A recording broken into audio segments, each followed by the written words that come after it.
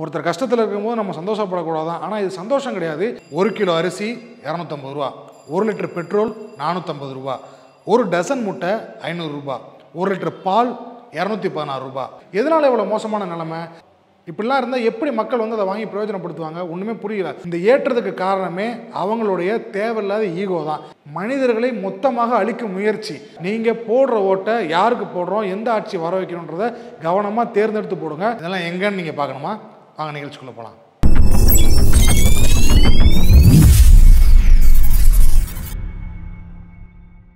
Welcome back VIPs இது உங்கள் மாறன் சிவ் நான் உங்கள் மாறன். நான் ஏற்கனவே சொன்ன மாதிரி ஒரு கிலோ அரிசி இரநூத்தம்பது ரூபா ஒரு லிட்டர் பெட்ரோல் நானூற்றம்பது ரூபா ஒரு டசன் முட்டை ஐநூறுரூபா ஒரு லிட்டர் பால் இரநூத்தி பதினாறு ரூபா. இந்த மாதிரி விலைவாசிலாம் அதிகமாக இருக்கிறது இந்தியாவில் இல்லைங்க ஸ்ரீலங்காவில் ஸ்ரீலங்காவில் நமக்கும் அந்த ஸ்ரீலங்காவுக்கும் தொடர்பே ரொம்ப கம்மி தான் போக்குவரத்து ரொம்ப கம்மி தான் வர்த்தகமும் எதுவுமே கிடையாது. ஏன்னா நம்ம நிறையா உங்களுக்கு ஆல்ரெடி தெரியும் இலங்கை தமிழ் இஷ்யூவில் ஸ்ரீலங்காவுக்கு நமக்கு போக்குவரத்தே கிடையாதுன்னு சொல்லிட்டு. அப்படிப்பட்ட ஸ்ரீலங்கா தான் படு மோசமான நிலைமையில் இப்போ இருக்குதுங்க. எதனால் இவ்வளோ மோசமான நிலைமை? கவர்மெண்ட்டோட கஜானா இருக்குது தெரியுமா?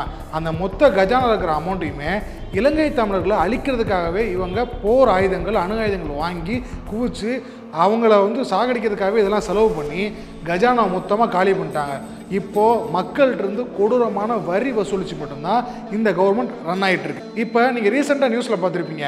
ஸ்ரீலங்கன் அதிபரோட மாளிகையை மக்கள் சுற்றி வளைச்சிட்டாங்க அப்படின்னு சொல்லிட்டு. இந்த மாதிரி இஷ்யூஸ்லாம் ஸ்ரீலங்காவில் நடக்க காரணமே இந்த விலைவாசி ஏற்றம் தான் வீட்டுக்கு ஒரு டசன் முட்டை வாங்கிட்டு போகணும்னா ஐநூறுரூவா பாக்கெட்டில் இருக்கணும்னா எப்படி ஒரு குடும்பத்தால் ஒரு டசன் முட்டை வாங்க முடியும்?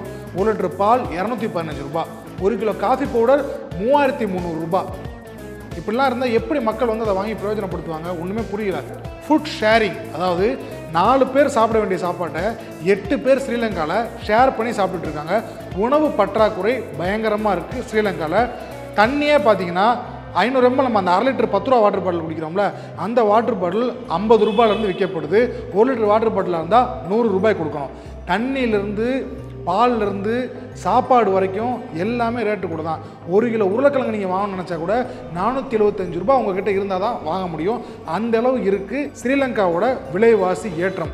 இந்த ஏற்றத்துக்கு காரணமே அவங்களுடைய தேவையில்லாத ஈகோ தான். இலங்கை தமிழர் கேட்டது ஒரே ஒரு பகுதி நிலம்தான்.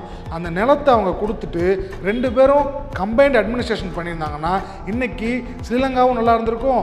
அவ்வளோ கோடான கோடி பேர் நம்ம மக்கள் இறந்துருக்க மாட்டாங்க. ஆனால் வெறும் ஈகோ காரணமாக தமிழனா சிங்களனான்ற ஒரே ஒரு போர் அந்த போருக்காக மட்டும் நடந்ததோட விளைவு தான் ஏற்கனவே நம்ம இலங்கை தமிழர் பட்ட கஷ்டமும் இப்போது சிங்களங்கப்பட்டுக்கிட்டு இருக்க கஷ்டமும் நமக்கு மேலே இருக்கிறவங்க ஒரு அரசியல் பண்ணுறான் நம்ம தான் அதை தடுக்கணும்னு யாருக்கு என்ன நடந்தால் எனக்கு என்னப்பான்னு ஸ்ரீலங்கா மக்கள் இருந்த ஒரே ஒரு காரணத்துக்காக தான் இப்போ அவங்களுக்கு நடக்கிறத யாருமே கண்டுக்க மாட்டேங்கிறாங்க. அவங்க போராட்டம் பண்ணாங்க என்ன பண்ணாங்க? யாராவது அதை கண்டுக்கிட்டாங்க? எப்படி கண்டுக்குவாங்க? அவங்க பண்ணது ஜெனோசைடு மனிதர்களை மொத்தமாக அழிக்கும் முயற்சி. அதை பண்ணவங்கள எப்படி யாரும் மன்னிப்பாங்க சொல்லுங்கள் அப்போ அவங்களுக்கு சப்போர்ட் பண்ண யாரும் இருக்க மாட்டாங்க தெரியுமா?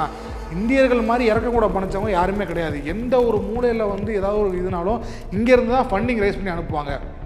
ஆனால் இந்த மேட்டர் நம்ம கண்டுக்கவே முடியாமல் போயிடுச்சு இப்போ ஸ்ரீலங்காவோட மக்களோட நிலைமை என்னன்னு பார்த்தீங்கன்னா ரொம்ப கவலைக்கிடமாக தான் இருக்குது உலக நாடுகளை கம்பேர் பண்ணும்போது மிக மிக ஏழையான நாடாக மாறிக்கிட்டு இருக்கு ஸ்ரீலங்கா. ஸ்ரீலங்காவில் நீங்கள் ஒரு லட்ச ரூபா சம்பாதிச்சாலும் அது வந்து இந்தியாவில் வந்து பத்தாயிரம் ரூபா சம்பாதிக்கிறதுக்கு சமம் தான் ஒருத்தர் கஷ்டத்தில் இருக்கும்போது நம்ம சந்தோஷப்படக்கூடாதான். ஆனால் இது சந்தோஷம் கிடையாது.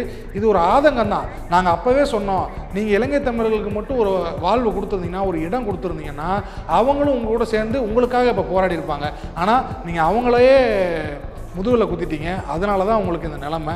இது உங்களுக்கு இன்னமும் புரியுமா புரியாதான்னு நமக்கு தெரியல. மேலே இருக்கிற அரசியல்வாதிகள் நடந்துக்கிற மாதிரி நம்மளுடைய மைண்ட் செட்டு நடந்துக்க கூடாது. நீ பண்ணுறது தப்புன்னு நமக்கு மேலே இருக்க தலைவர்களை சுட்டி காட்டுற ஒரு தைரியம் நமக்கு இருக்கணும். அப்படி இல்லைன்னா நம்மளும் இதே மாதிரி அதிபர் மாளிகையை முட்டுக்கட்டை போட்டு நிற்க வேண்டியதான் அதிபர் நீட்டாக ஃப்ளைட்டில் எஸ்கேப் பெறுவார் உணவு பஞ்சம்லாம் வராது அப்படின்னு நம்ம பேசிக்கிட்டு இருக்க இந்த டயத்தில் இந்த மாதிரி விலைவாசி ஏற்றத்தால் உணவு பஞ்சம் சீக்கிரமே வந்துக்கிட்டு இருக்கோம்.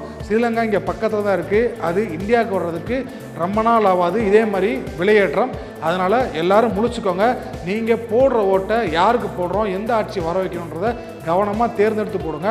சும்மா காசுக்கு ஓட்டு வாங்கிட்டு போட்டிங்கன்னா அந்த ஆயிரம் ரூபாய்க்கு நீங்கள் போட்ட ஓட்டு ஃப்யூச்சரில் நீங்கள் ஒரு லிட்டர் தண்ணியே ஆயிரம் ரூபாய் குடிக்க நிலைமை ஆகி போகிறோம் ஸ்ரீலங்காவை பொறுத்த வரைக்கும் ஒருத்தர் அங்கே வாழணும். ரெண்ட் இல்லாமல் வீட்டு வாடகைலாம் வாழணும்னா ஒருத்தருக்கு இருபத்தஞ்சாயிரம் தேவைப்படும்.